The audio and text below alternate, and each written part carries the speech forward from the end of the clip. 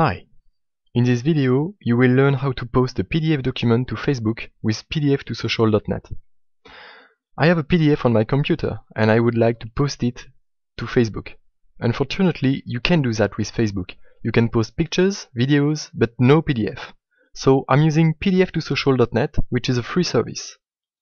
First, I click on the big blue Connect button. I log to Facebook, as usual,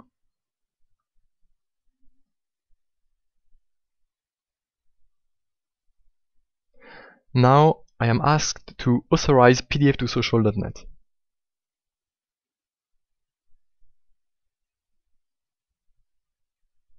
Okay, now I'm back to pdf2social.net. I have a simple form to fill. First, I pick the PDF document I want to post to Facebook. Here it is. Now I type a message for my friends and I click a big blue button again to publish my PDF to Facebook.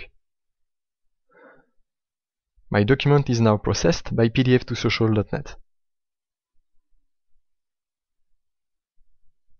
And it's done. Let's go to Facebook to see the result.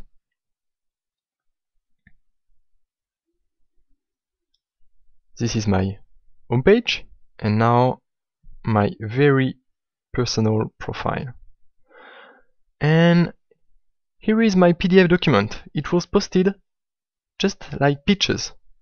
So now all my friends can look at this and see my message. This is all. As you can see, pdf2social.net is a very simple tool. It's completely free. Enjoy! Thank you for watching.